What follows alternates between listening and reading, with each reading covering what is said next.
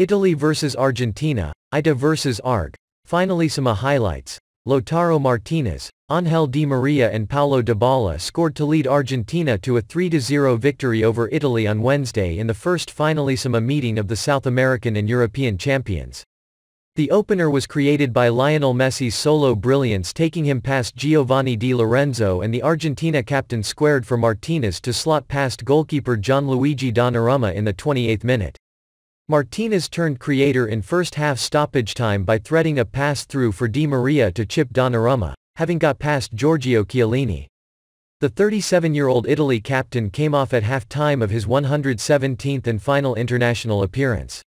The win was wrapped up in the fourth minute of stoppage time with Messi again providing the assist, this time for the substitute Dybala to strike low into the net.